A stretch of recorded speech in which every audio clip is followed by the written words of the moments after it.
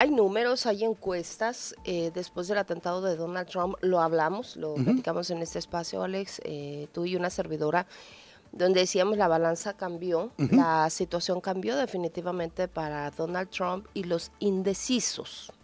¿No? que son los que están guiando y moviendo la, la balanza.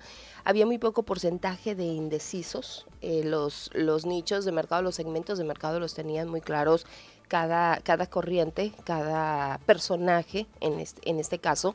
Después del atentado de Donald Trump, esto cambia radicalmente. Los, los indecisos toman postura hacia, hacia el candidato, los números lo ponen como favorito.